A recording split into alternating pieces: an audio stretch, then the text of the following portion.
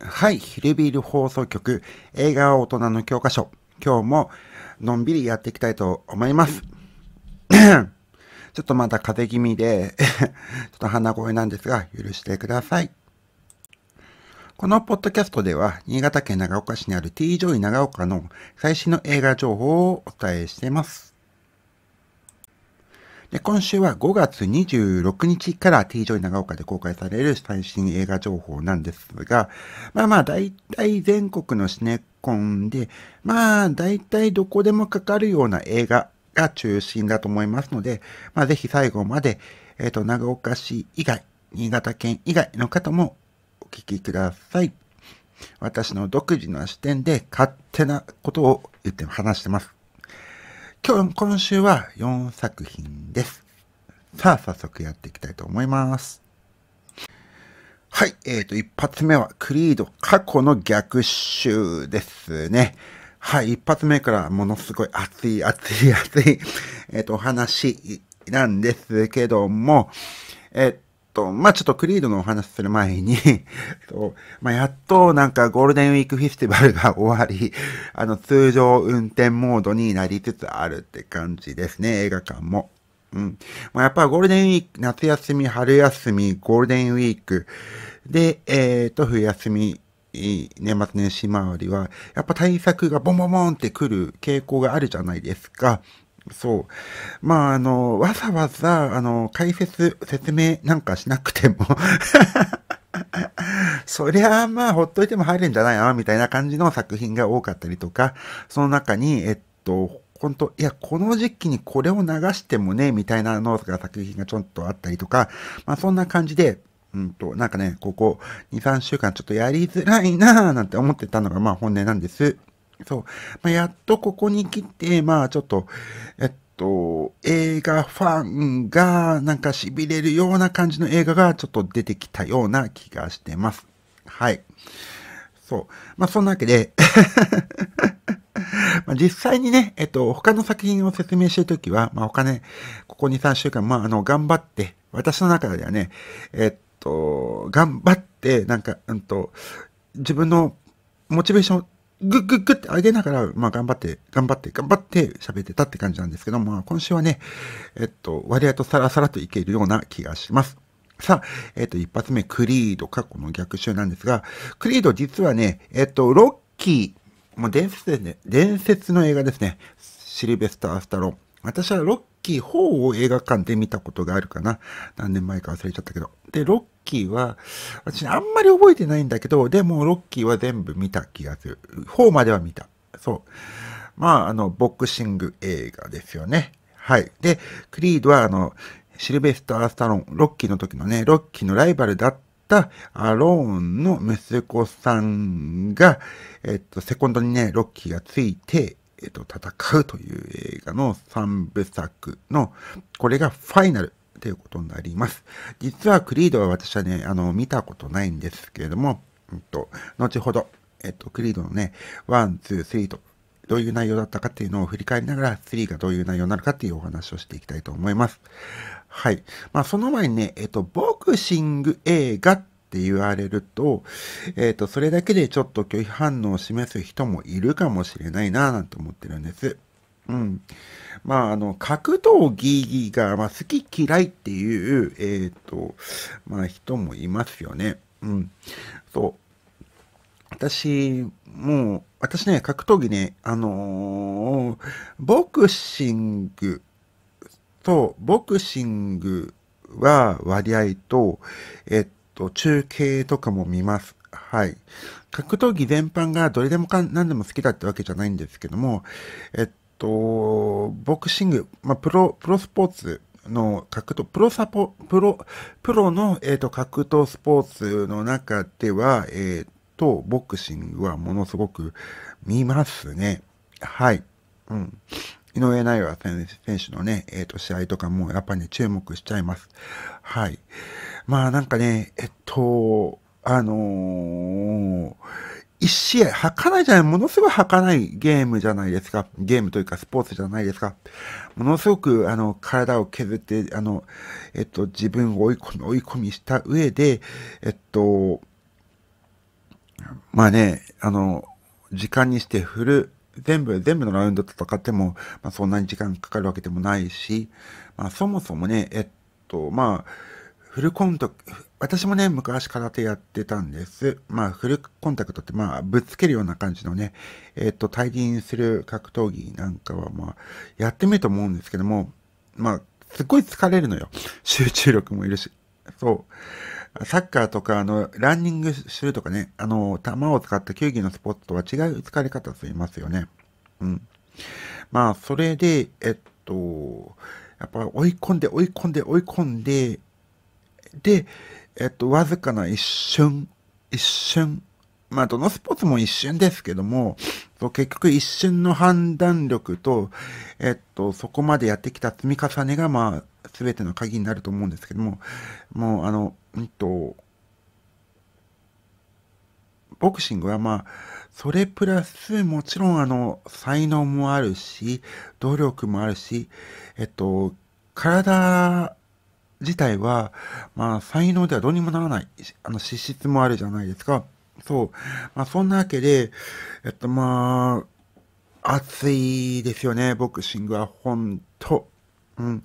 で、ただね、あの、うんと、まあ、あの、間近でね、間近でね、あの、いっぱい試合を見てるわけじゃないんで、あの、ほんと駆け引きとか、えっと、技術的、テクニック的な部分とかね、あの、まあ、井上尚弥選手みたいに、もう本当も圧倒的っていう感じだと、あ、解説の人が言ってね、あ、こういうところはこうですね、なんていうのを聞きながら、あ、そういうことか、なんていうのが、まあ本当、あ、なるほど、この人の試合を見てるだけで、ボクシングがちょっとずつ分かるようになってくるわ、みたいな感じの、うんと、まあ圧倒的な強さの井上尚弥選手なんですけども、うん。まあ、あの、えっと、まあ、ボクシングね、過去、本当あの、なんだろう、えっと、まあ、あの、うんと、勝手なイメージですよ。そう。うんと、本当やんちゃな子たちが始めるスポーツみたいなイメージが私はあって、そう、昔はね、嫌いだったんですよ。嫌いだったんですよ。そう。でも、なんか、あの、うんと、なんか、ボクシングとともに、あの、心身ともに成長してみたいな人もいれば、もう今のね、もう井上尚弥選手なんか本当、えっと、もう紳士ですしね、そう、今のボクシング選手、まあ、日本のボク選手、ボク選手、選手はさ、みんなあの、本当紳士な感じですよね。そう。で、まあ、大した収入が多くないっていう、えっと、世界だと思うんですよ。まあトップはトップですごいと思うんですけども、まあその中でね、あの地道に YouTube でね、コツコツあの、稼いでる人も、選手もいっぱいいるじゃないですか。うん。そう、まあそんなけなげさもなんかね、僕選手、ボクシング選手には感じちゃうんですよ。うん。そう。そう思うと、まあ、えっと、一時の人気にかかまけてね、えっと、今どんどん人気が下がっちゃって、てる、あの、スポーツの選手なんかももうちょっとやりようあるんじゃないですかね、なんて、あの、正直思っちゃってます。はい。まあ、どんなスポーツか言いませんよ。はい。まあ、皆さん思い当たるところは多分あると思います。そう。うん。まあ、そもそもね、マイナースポーツで、あの、そもそも視聴数が伸びないっていう方もいらっしゃいますけどね。そういう方も本当頑張ってるチャンネルいっぱいあります。私はね、スポーツ選手のチャンネル見るの結構大好きなんですよ。うん。まあ、そんなわけで、えっ、ー、と、クルードのお話をしていきたいと思うんですが、まあ、そういう意味でも、まあ、きっとね、えっ、ー、と、ロッキーもそうでしたけど、まあ、あの、えっと、いろんな格闘といろんな苦労を積み重ねながら最後は、えっと、もう、ボロボロになりながらもう勝ち切る、カンカンカンカンみたいな映画だと思うの。まあ、そんなわけで、えっ、と、クルードがどんな映画だったかっていうのを、えっ、と、振り返ってみましょう。うん。まあ、クルードなんですけど、えっと、えっとね、見ると、4作品あるのかな？え、5作品もあるのかな？ちょっと待ってくださいね。えー、っと、クルードの名前がついてる映画は、えっと、えー、っと、まあ、3本ですね。ごめんなさい。はい。えっ、と、クルードで検索したから、全然違うクルードの映画が出てた。はい。で、一作目は2015年ってことですから、まあまあ、8年前、8年前ですね、8年前のお正月映画として公開されました。まあちょっとそのクルードの、えー、とタイトルを見ると、うんと、なんだ、クルード、チャンプを受け継ぐ男っていう感じで、まあ一作目、うん、一作目です。一作目は大体こんな内容でした。はい。今回ご紹介するのは3作目なので、1作目の内容はこんな感じだったよって感じでお聞きください。そう。えっと、ロッキーのライバルであり、名優であった。ごめんなさいね。えっと、ロッキーは、えっと、ロッキーって映画の、えっと、主役だったシルベスター・スタローンのことです。はい。そう。まあ、シルベスター・スタローンはロッキーで人気になったという。まあ、シルベスター・スタローンに関しては、えっと、まあ、ご自身で調べてください。なかなかね、ハードな物語の方ですよ。はい。じゃあ、えっ、と、もう一回最初から読みます。ロッキーのライバルであり盟友であったアポロ・クリードの息子、アドニス・ジョンソンが主人公となり、アスタローン演じるロッキーもセコンドとして登場する。自分が生まれる前に死んだ、死んでしまったため、父、アポロ・クリードについてはよく知らないまま育ったアドニスだったが、彼には父から受け継いだボクシングの才能があった。亡き父が伝説的な戦いを繰り広げたフィラレルフィアの地位に降り立ったアドニスは父と死闘を繰り広げた男、ロッキー、アボルボアにトレーナーになってほしいと頼む。ボクシングから身を引いていたロッキーはアドニスの中にアポロと同じ強さを見出した。トレーナー役を引き受ける。アドニス役は、そう、ここまでにしようか。これはですね、えっ、ー、と、88年アカデミー賞にノミネートされた映画、それは、あの、スタローンがね、ノミネートされた映画みたいですね。うん。まあ、一作目では、まあ、うんと、クルードって名前じゃないんだね。クルードが名前だと思ったんだけど、あ、アポロ・クルードの息子だからのね。そう、主人公はアドニスだって。で、アドニスがロッキーに、えっと、頼み込んで、えっと、トレーナーになってもらって戦うんだって。うん。まあ、えっと、タイトルのチャンプを受け継ぐものってことは、まあ、ロッキーに、と死闘を繰り広げてね、亡くなっちゃったアポロの、その、えっと、チャンピオンのね、意思を受け継ぐものっていうことだったんですね。はい。これはね、えっ、ー、と、映画 .com の評価は4.0になってますね。まあ、4.0ってまあまあまあ高い方ですよね。うん、で、2作目。2作目は、えー、っと、クルード炎の宿敵。これはですね、えー、っと、2018年の映画。え、公開はな、えっと、日本の公開は、えっと、あ、2019年1月ですね。またお正月明けぐらいの頃ですね。そう。評価は3.9。まあ、これもまあまあ高いですね。うん。えっと、これを見てみると、読んでみると、うんと、アドニスの新しい物語。えっと、アドニスの物語として復活、ロッキーをアドニスの物語として復活させ、世界中で好評を博したクリード・チャンプを受け継ぐ者の続編、ロッキー炎、炎の、炎の友情でアドニスの父であり、ロッキーの盟友であったアポロ・クリードを葬ったイワン・ドラコの息子、ベクターが登場する。ああ、アポロって、あの、ロッキー4であの、えっと、ロッキーと戦わずにあの、やられ、殺されちゃった人ね。うん、なるほど。そう。えっ、ー、と、イワンドラ・ドラコの息子、ビクターが登場する。アドニスが因縁の対決に挑む姿を描く。ロッキーの指導のもと、世界チャンピオンに上り詰めたアドニスは、かつての父アポロの命を奪ったイワン・ドリコの息子、ベクターと対戦することになる。ベクターの反則行為により試合には勝利したものの、納得の勝利を飾ることができなかったアドニスは、心身ともに不調に陥ってしまう。やがて婚約者のビアンカ。婚約者のビアンカだって。ビアンカって聞いて、あの、反応した人が、まあ、ドラクエファンですね。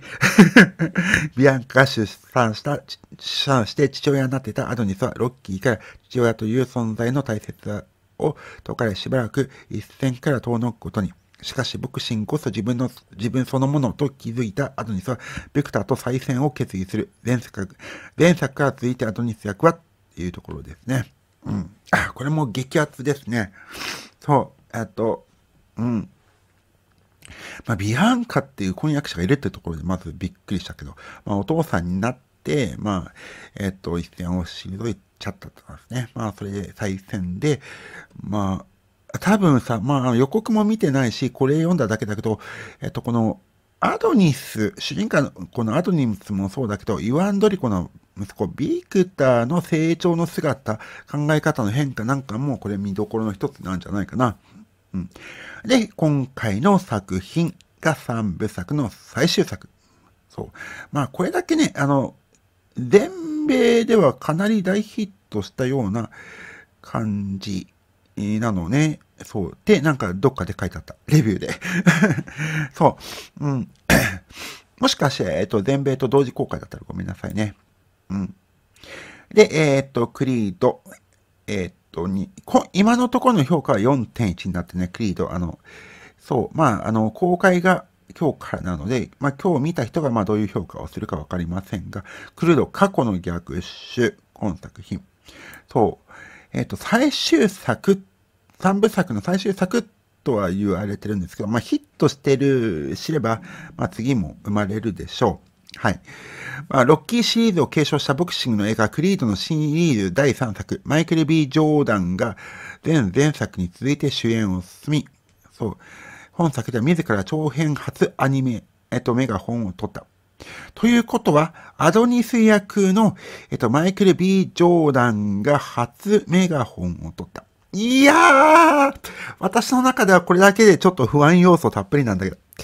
まあ、あの、名優、ね、あの、俳優さんイコール素晴らしい映画監督かというと、まあ、どうだろうなうん。そう。まあ、チャップリンは確かに、まあ、素晴らしかったけど、どうだろうなまあまあまあまあ、うん。そう。あった。うん、まあでも、広告としては、ここ書かざるを得ないだろうな。はい。まあそんで、かつてロッキーが死闘を繰り広げた親友アポロの息子、アドニス・クリード。そう、ロッキーの魂を引き、あ、ごめんなさいね。今これから喋るのこそ今週のクリード。えっ、ー、と、過去への反逆。違ったかな。過去の逆襲の、えっ、ー、と、内容です。はい。かつてロッキーが死闘を繰り広げた親友アポロの息子アドニス・クリード、ロッキーの魂を引き継ぎ、世界チャンピオンになった彼の前に刑務所から出所した幼馴染のデイムが現れる。二人はかつて家族同士の仲間であったが、デイムはクリードの少年時代にある過ちによって、ああ、デイムはクリードの少年時代に、あ、ある過ちによって18年間の不景気を強いられ、復讐心に燃えていた。クリードは封してきた自らの過去に決着をつけるべく、デイムとの戦いに向けて猛練猛トレーニングを開始する。なるほどね。うん。まあ、3部作っては聞いてたんだけど、まあ、これで、えっと、終わる感じじゃないな。もしかしたら、えっと、この後も続くような感じで書かれてます。うん。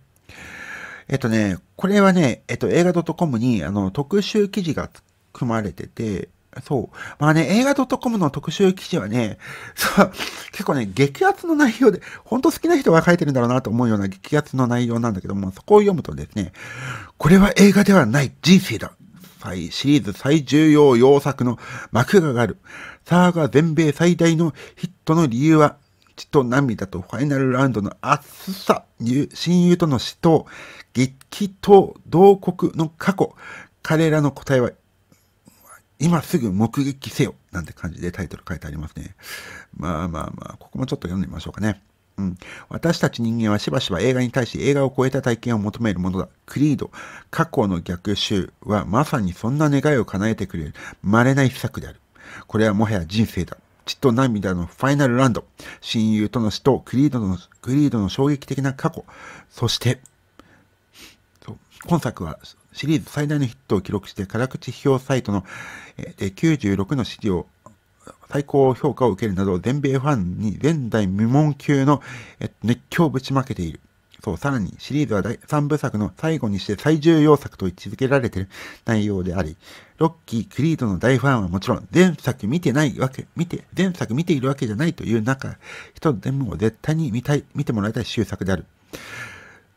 そう。まあ、激アツで書いてありますね。まあ、ここまでね、激アツで書いてあると私もね、見てみたいなとか思っちゃうんです。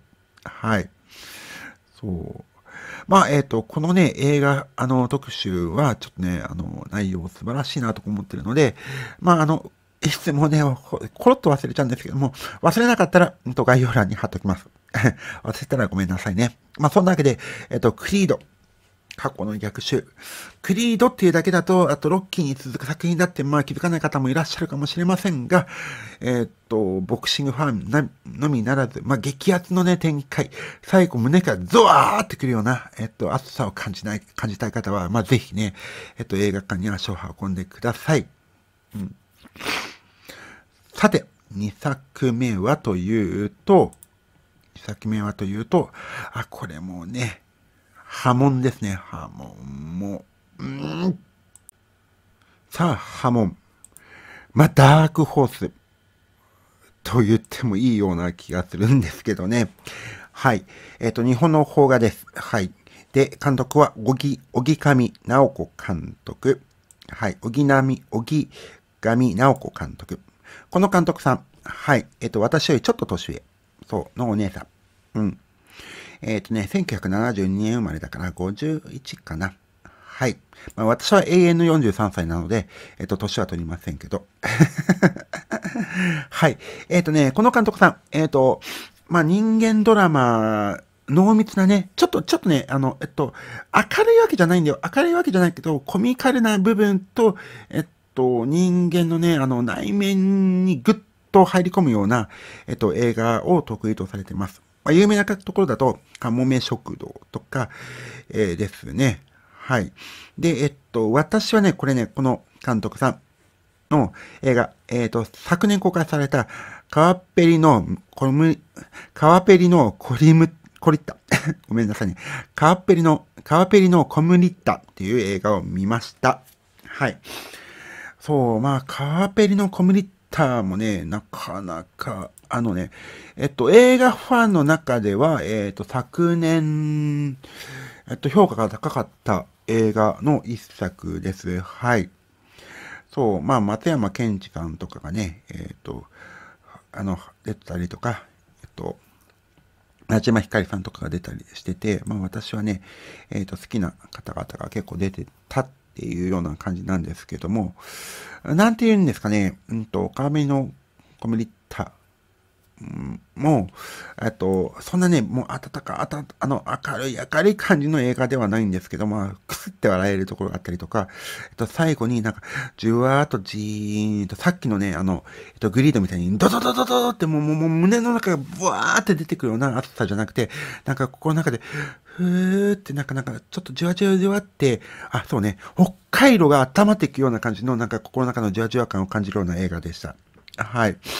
そう、分かって もうそういうニュアンス。はい。そう。で、今回の作品、波紋も、もう予告編見る限り、なんかね、予告編を見る限りになんかちょっと、すっごいダークな暗い感じなんだけど、そう、なんかダークな暗い感じなんだけど、そのポスターとかチラシを見る限り、なんかね、えっと、ちょっとね、くすって笑えるような感じのところが、やっぱりちょこっと入ってるのね。うん。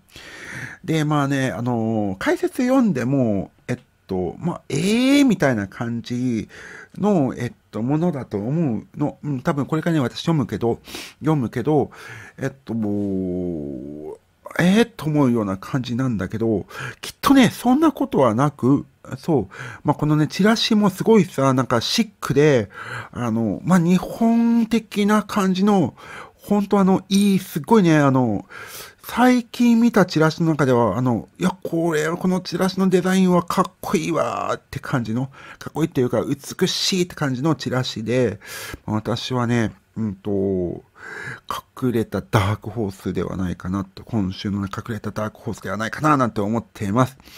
はい。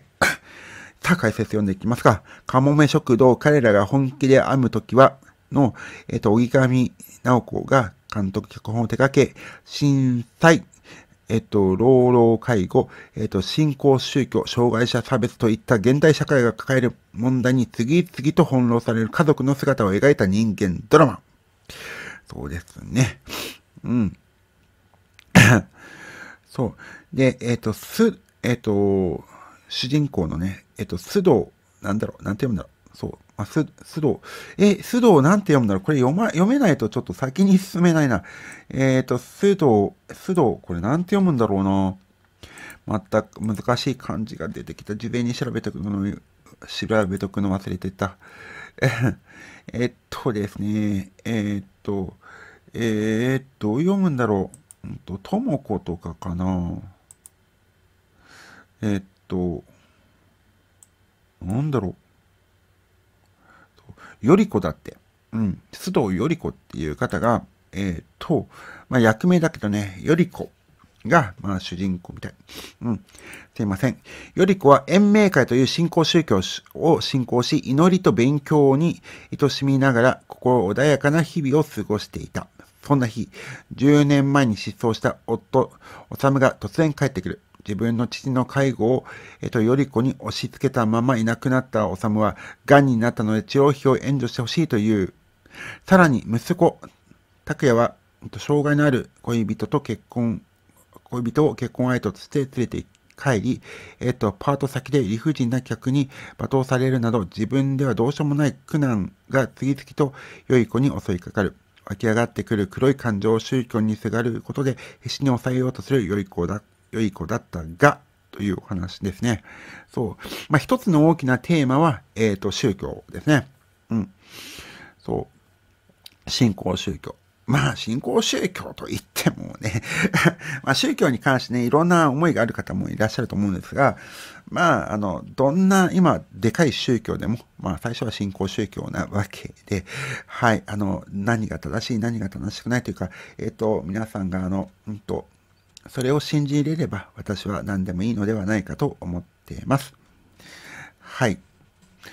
えっと、まあ、大抵の宗教は、あの、他人に迷惑かけるものではないと思いますからね。そう、一部、あの、迷惑な宗教も まあ、ないことはないですが、そう、ちなみに、えっと、信仰宗教っていうことでお話しするなら、えっと、仏教は皆さんご存知の通りね、えっと、インドで、えっと、生まれた宗教ですが、えっと、インドでは仏教、仏教を信じている方は、えっと、2%ぐらいみたいですね。確か2%って言ったかもしれないですね。そう、2%っていうと、まあ、日本で、えー、っと、日本で、えー、っと、キリスト教徒を8%っていうから、まあ、日本でキリスト教徒を探すのもなかなか大変じゃないですか。2%言ったって言ったらもうよっぽどですよ。そう、そう、うん。まあ、あの、えっと、生まれたインドでも信仰宗教だった、えっと、えっと、仏教は、まあ、根付かず、まあ、仏教は、まあ、徐々に徐々に北上していって、えっ、ー、と、ネパール、チベットを越えて、えっ、ー、と、アジアに広まって日本に来たっていう流れみたいですね。そう。で、そのネパール、私ネパールに住んでたんですけど、えっと、ネパールの、ネパールでもそんなに仏教徒はね、多くない。確か20%、30%、40%ぐらいかな。でもヒンズーと、えっと、仏教徒両方信じてるって方も結構いらっしゃるので、まあ日本みたいなもんです。そう。で、そんな感じになってるんですが、うん。まあ一つは、えっ、と、信仰宗教。そして、えっと、老老介護。な確かにね、老人が老人を介護するという問題。そう、まあ震災っていう話もあったんですけど、あとはま障害者差別ですね。そう、まあこれはね、うん、まあ私もちょっと思い当たるところがあります。はい。うん。まあそんなわけで、えー、っと、いろんな問題、その大きな問題としては、まあ、ね、旦那さんが、えっ、と、失踪した旦那さんがも、がんだということで戻ってくる。さらに息子が、えっ、と、障害者のね、彼女を結婚相手として連れてくる。まあ、で、まあね、日曜的なね、社会のね、まあ、職場でね、パート先で、まあ、嫌なこともありますよ。そりゃ、うん、まあ、そそういう困ったことに、まあ、自分のね、心の拠り所として、えっ、ー、と、宗教に、を信じる。その信仰宗教にすがるって、うん、そう。まあね、そのすがるのが、信仰宗教だろうが、アニメだろうが、映画だろうが、そう、自分が信じるものにすがる。それで全然いいんじゃないでしょうかね。はい。そんなわけで作品は120分。きっときっと、えっと、なんか、また北海道で、えっと、どっちかというと、あの、背中、背中に北海道を張って、じわじわじわっと腎臓あたりが温まってくるような、そんな映画じゃないかなと思ってます。きっとね、最後はね、えっと、バッドエンドじゃなくて、まあ、あの、心地よい、え、心地よいえっと、終わりをするんじゃないかな。まあ、このね、監督さん、あの、すっごくね、あの、願い優しい感じの人じゃないかなと思うんですよね。映画を見る限り。そんなわけで、ぜひね、あの、じわじわっとあの、心に響くような映画を、が好きな皆さん、今月の、えー、っと、私の中のダークホースの一本はこれですね。そう。まあ、今週はね、なんか、どれもなんか、えっと、次にご紹介する岸辺露伴ルーブルに行くも、まあまあまあ、メジャーな方が出てる割には結構ダークな感じで見たらきっと面白いんだなと思っています。さあ次は岸辺露伴ルーブルへ行くです。はい、岸辺露伴ルーブルに行くなんですが、そう、えっと、予告を見て、えっと、TJ 長岡の、えっと、まあ、寸評というか、まあ、内容解説を見て、えっと、お話を始めてるんですけど、まあ、見るね、このお話をする前に、えっ、と、映画 .com を開いて、まあ、えっ、と、どんな映画かなっていうふうに確認するようにしてるんですが、映画 .com のページを開いて初めて知ったことが2つあります。まずは、えっ、と、ジョジョの奇妙な冒険のスピンオフ作品であること。そうなのこれ。そう。え、じゃ、ってことは、ロ、あの、ジョジョの中にこの、えっと、岸辺露伴さんっていう、あの、キャラクターが出てくるの？うん。私はね、ジョジョはね、絵が苦手。そう、絵が苦手。そうなのよ。うん。なんかね、入り込めないの。だから、ほんと、初期の頃ちょろっと読んだだけでわかんないから、まあ、岸辺露伴っていう人が、ま、出てくるかどうかはわかりません。知ってる人、ごめんなさいね。はい。で、さらに、あの、知った二つ目は、えっ、ー、と、えっと、NHK で岸辺露伴は動かないっていう、えっと、ドラマをやってたんですって、2020年。そんなのも知らなかった。もう、そんなわけで、えー、っと、もしかしたらね、詳しい人は詳しくいいかもしれません。はい。ごめんなさいね。あと、私が無知でした。そう。でもね、このね、予告を見、予告を見る限り、いや、これは、あのーすごくなんか絵作りも、ね、映画の絵作りもしてかん、見ると、なんか面白そうだなと。うん。そう。まあ優秀なスタッフが集結してっていうような感じなんですけど、まあ上映時間が118分。まあ2時間、まあそもそもほぼほぼ2時間ですね。そう。まあ予告編を見る限り、えっと、2時間じゃちょっととどうなのかなぐらいのぐらいのちょっとボリューム感を感じるような映画ではあったんですが、まあ、ホラーというかサスペンスっていうような気がするんですよね。うん、見てると。そう。で、まあ、インタビュー記事も載ってますね。そう。まあ、さっと読んでいきましょう。はい。えっ、ー、と、相手を本にして、生い立ちや秘密を読む。あー、まあ、ジョジョっぽい。相手を本にして生き、生い立ちや、えっ、と、秘密を読み、指示を書き込むこともできる特殊能力、ヘブンズドアを備えた漫画家。あ、なるほど。やっぱり岸辺露伴っていう、あの、えっと、ジョジョのキャラクターがいるのね。そう、漫画家岸辺露伴の露伴。青年時代に露伴は淡い思いを抱いた女性からこの世で最も邪悪な、最も黒い絵の噂を聞いた。それから時は経ち、その絵がフランスのルーブル美術館に所蔵されていることを知ったロハンは、新作筆筆の取材と、かつてかすかな、えっ、ー、と、墓場のために、えー、フランスに、フランスを訪れる。しかし、えっ、ー、と、美術館の職員には黒い絵の存在を知る者はいなく、えっ、と、データベースによってヒットしたその保管場所は、今はもう使われてないはずの地下倉庫 Z13 倉庫だった。なるほどね。そう。うん、これは、えっと、ジョジョの世界観を、まあ、えっと、を上手に、えっと、映画に落とし込んでるって感じだな。そう。まあ昔、まあ私も見てないんだけど、ジョジョの劇場版があったじゃないですか。まあああいったもうね、あの、ジョジョの、あの、うんと、絵も含めて、絵も含めて、まあ、漫画の世界観をそのまま、あの、映画にしようって、そりゃ無理です。そりゃまあ、えっと、ねえ、あの、炎上するでしょっていう風に思ってたんだけど、うん。こういう作り方はすごいね。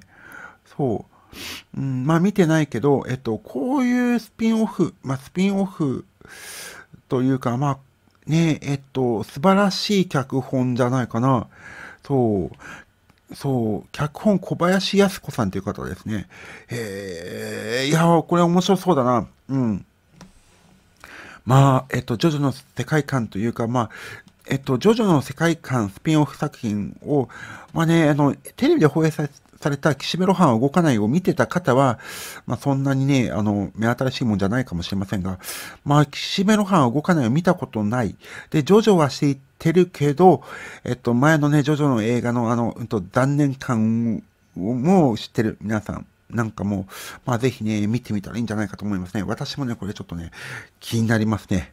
まあ、ダークホース2ですね。そう。まあ、そんなわけで、えっ、ー、と、今日3本目の映画は、ライオン少年です。はい、このライオン少年なんですが、私はね、えっ、ー、と、実はあの、えっ、ー、と、チラシを見てたわけじゃないですけど、なんかタイトルだけ見て、なんかあの、邦画かなーなんて思ってたんです。うん。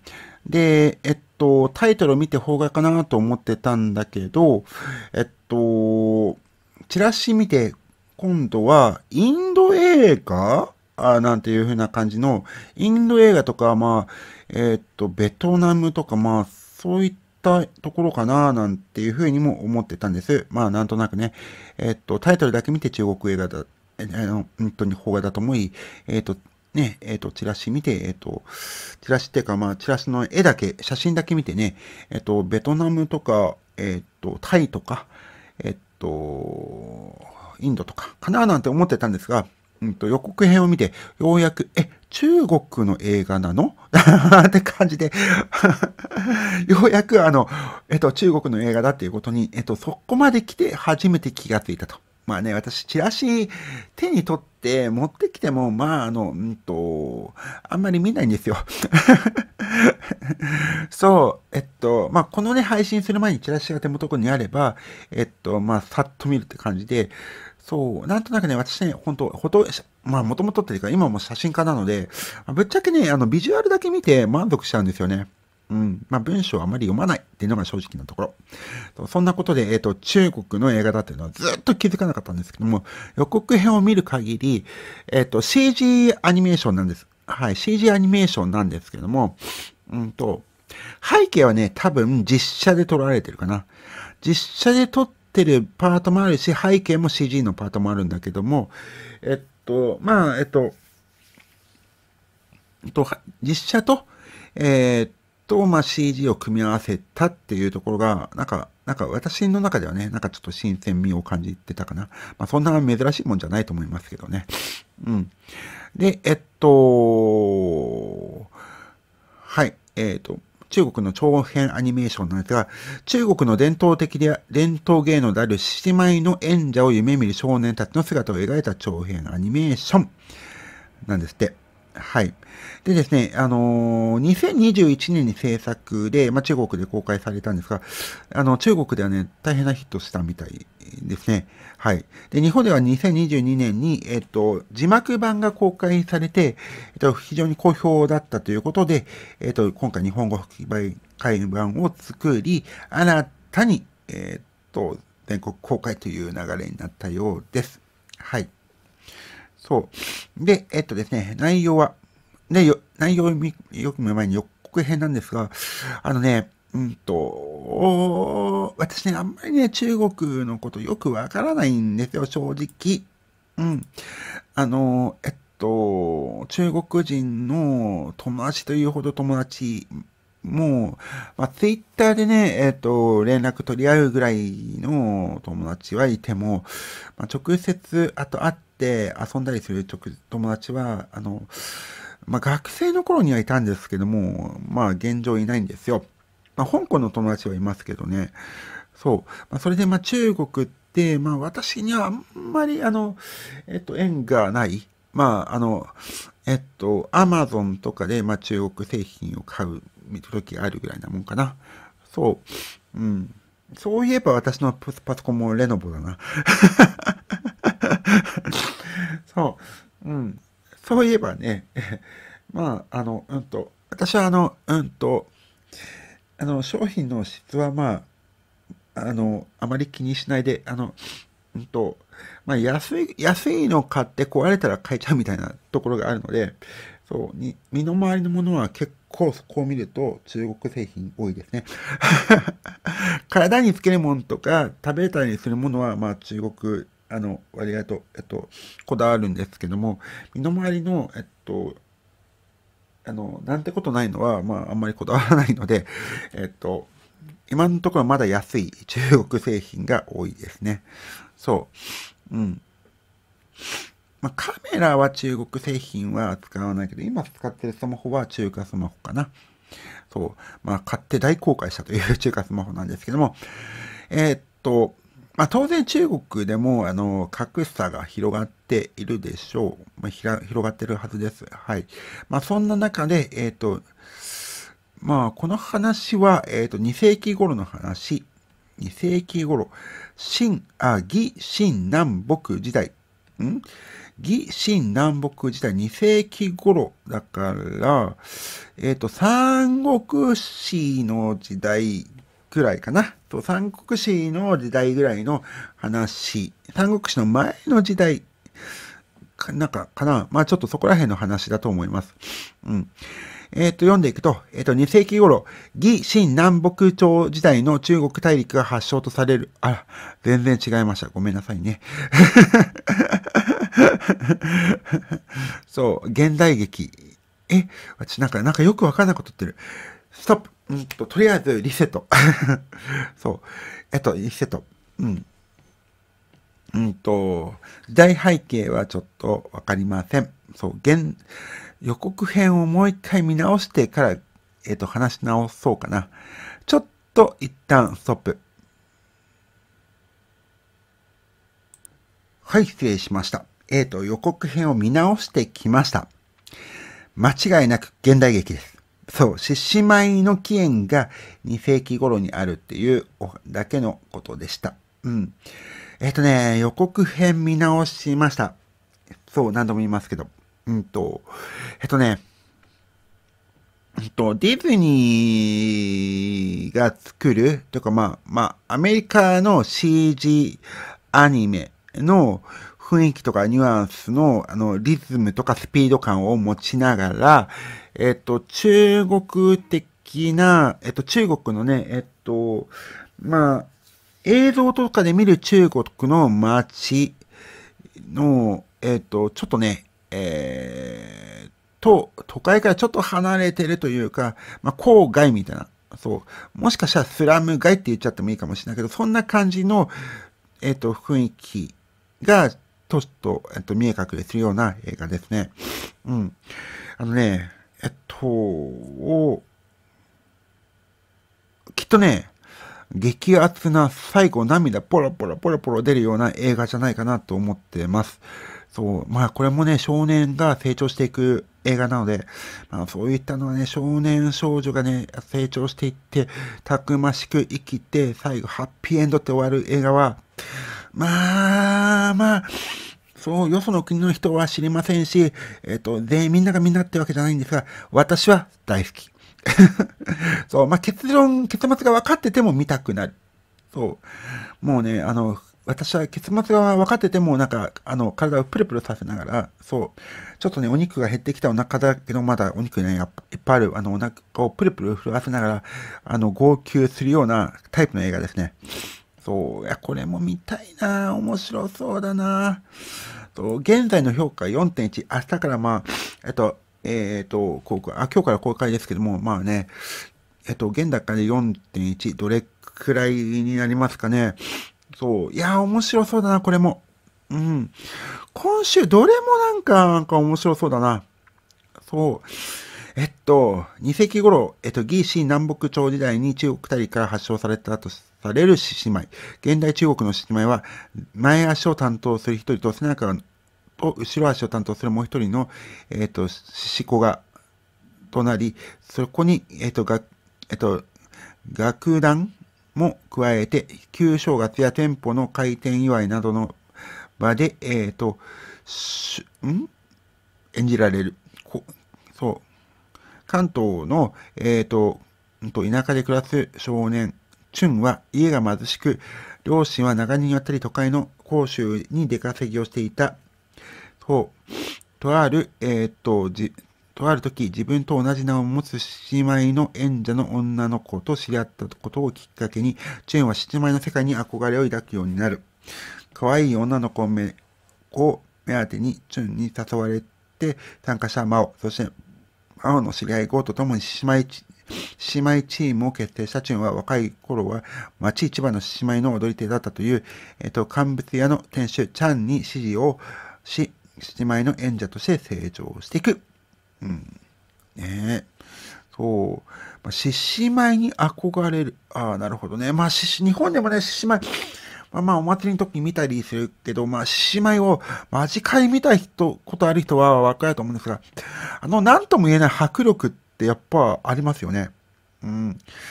いやー、なるほどね。このね、姉妹演者の女の子と知り合った。まあ、あの、なんか、えっと、ここら辺が大きな伏線になっていくような気がしますね。そう、えっと、いや、なかなか私の中の想像してる、あの、ストーリーのイメージは、うん。まあ、あの、お父さんお母さんの、出稼ぎに行ってるお父さんお母さんのつながりの人が、まあ、演者の女として現れたんじゃないかなっていう感じかもしれないな、なんて思ってます。そんなわけでですね、うんと、これもね、今週面白いんじゃないかな。ただね、ちょっとね、えっと、まあ、この、えっと、子供たち向けっていう感じの、まあ、作りになってるんだけども、まあ、当然ね、大人が見てもね、あの、多分ね、女性が見たらきっと涙ポロポロポロみたいな感じのじゃ映画じゃないかななんて思ってます。うん。そう。まあ、そんなわけでですね、えっ、ー、と、今週最後のこのライオンの少年もね、私的にはね、おすすめしたい映画の1本。そんなわけで今週も、えっ、ー、と、4本ご紹介してきましたが、まあ、今までここ最近ね、7本とか5本とか、まあ、バカみたいな数で喋ってきたので、ようやくここで終わりって感じですが、4本ぐらいだと、えっ、と、まあね、えっ、と、ゆっくり、えっ、と、熱を入れながら喋れるので楽しいですね。はい。まあ、そんなわけで、今週もは4本ご紹介してきました。でも今週はね、もうちょっとお話し続けますよ。まあ、秘宝6月16日 X デーとして書きましたが、まあ、多くの映画館が多分そうだと思うんですけども、えっ、ー、と、T ジョイ長岡も T ジョイ系もね、えっ、ー、と、6月に値上げが決定しています。はい。まあ、早いところは6月1日から値上げってなってるところもあるんですけども、えっ、ー、と、T ジョイ長岡は、えっ、と、6月16日から作品の値上げとなります。まあ、大体一律100円アップしたのかな。はい。そうですね。うん。据え置きなのは、えっと、12月1日の映画の日が1000円で見れるっていうだけですね。またまた映画の日の価値が爆上がりして、映画の日、また、また朝から晩まで映画館にいるかもしれない。でもね、まあ、あの、昨年のね、12月1日は、えっと、私はね、えっと、映画館にどっぷりハマって、うんと、1日で6作品見たかな。ただ1日で6作品見たって話は、まあ何度もしてるんですけども、皆さんね、やめた方がいい。まあね、1000円だと思って6作品だってもう6000円だからね。そう。まあ、通常料金1900円で見たら3本。そう、まあ半額と思えば、まあ今度2000円か半額だと思えば、まあお得感あるんですけども、6本も見るとね、ぶっちゃけね、もう何を見たか覚えてない。で、どんな内容だったかも覚えてない。そう、正直ね。そう。まあ、一、映画館で一日一気に見る限界がもしあるとしたら、私は3本だな。3本見たらもう十分、もうもうもう、3本見ても、まあ、あの、と、目つむってようやく内容を思い出せるぐらい。そう。まあ、できてたら1日1本ぐらいがやっぱりいいのかななんて思ってます。そんなわけで、えっ、ー、と、今週はここまでにしたいと思います。このポッドキャストはですね、毎週金曜日15時に配信しています。配信してるんですが、まあ、あの、YouTube の方は15時に設定してるんですけども、えっと、この、えっと、ポッドキャストは Facebook にある Facebook 長岡市グループに投稿することを前提にして作っています。で長岡市グループの場合は、ちょっとね、15時ちょうどというよりも、ちょっと前後する時もあるんですが、えっと、なるべく毎週金曜日発信できるように頑張ってますので、応援よろしくお願いします。ぜひチャンネル登録お願いしますね。はい。そんなわけで、発信元 YouTube、ポッドキャストチャンネル、ヒルビー放送局、えっ、ー、と、マコネがお伝えしてきました。また来週。バイバイ。